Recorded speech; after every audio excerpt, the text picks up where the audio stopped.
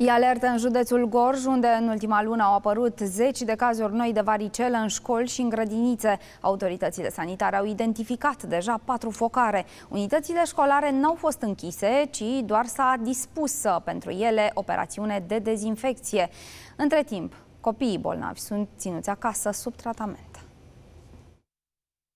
Cele mai multe îmbolnăviri sunt la o grădiniță din Târgu Jiu, unde 31 de copii și o educatoare au contractat virusul. 19 cazuri au fost confirmate și la o școală din Motru. Toți copiii se află sub tratament medical. În focar am impus triajul zilnic, dezinfecție zilnică, aerisirea încăperilor și, nu în ultimul rând, informarea părinților cum că în unitatea de învățământ respectivă există focar de varicelă.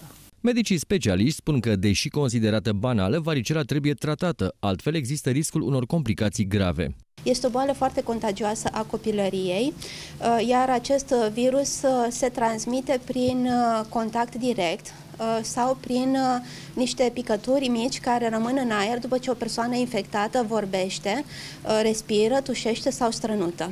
Pentru a preveni extinderea îmbolnăvirilor, serbările de iarnă au fost anulate. În instituțiile de învățământ se igienizează spațiile conform recomandărilor DSP, dar nu se închid. Toate activitățile de ce implică socializarea uh, sunt uh, suspendate. Asta înseamnă inclusiv acele uh, serbări specifice acestei perioade. La momentul acesta clar nu se poate vorbi de o închidere a acestui spațiu.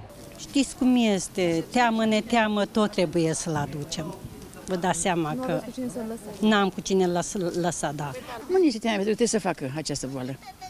Că tot că mai au nepoții aici și au făcut, că așa e în colectivitate. Nu avem ce face. Aveți cu cine să lăsați în care, în care se închide Rămân eu cu el, cu ea. Da. Consider că se ia toate măsurile ce se impun. În cazul în care se va închide grădinița, aveți cu cine să lăsați? Să găsim o soluție.